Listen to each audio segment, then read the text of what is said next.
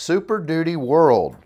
What I have here is a 2011 through 2016 Super Duty grill. We've had a lot of requests on these grill lights. The prototypes are done, the installation kit is solid.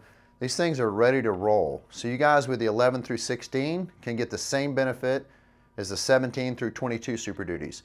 So now we can cover from 11 to 22. We're doing F-150 lights, Ram lights, we're working on Denali lights right now. But that's not all we got. Um, we got a lot of new products coming out in the next couple months that are new to the accessories department. You've never seen these before. So that's what's exciting about getting these out because we love trucks and we love show trucks and we love the diesel industry.